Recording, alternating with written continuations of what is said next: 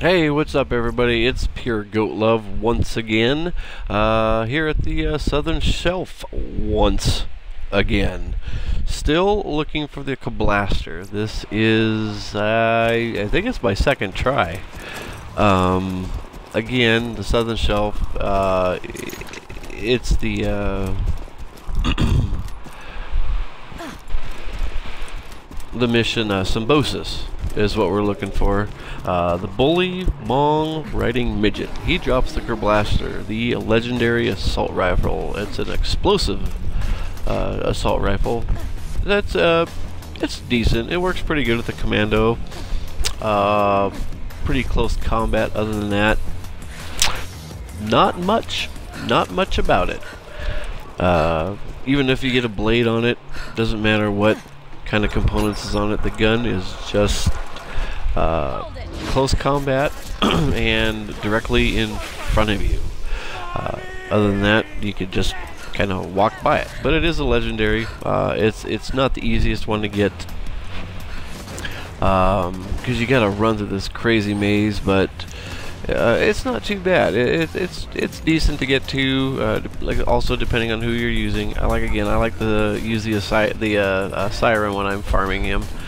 Um, uh, I do take two paths. Uh, I like this path. Uh, it's not too bad. Uh, he comes right out, and I think it's like whenever I use my siren, he always comes out and and uh, uh, faces me right up. When I use anybody else, he doesn't even come out of his room until I get right to it. So I'm poking around, don't see it, and there is again uh, a chest inside that I always always like to check before I leave. Uh, like I said, this is my second try. Um, this is back to back, and again, what do we get? The clean Gunerang.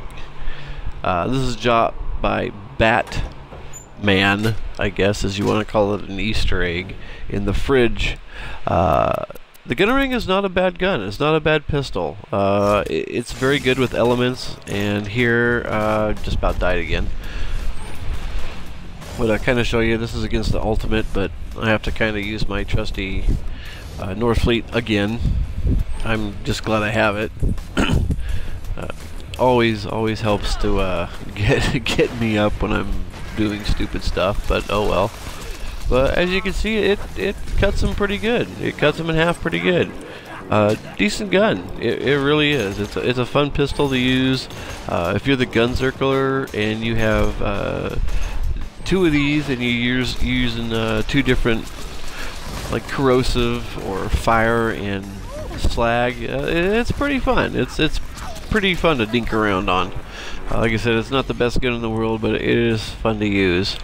Um, uh, so thanks for watching. Uh, if you do like the comment or like the video, please leave a comment in the box below. And if you do like, um, subscribe. Thanks again.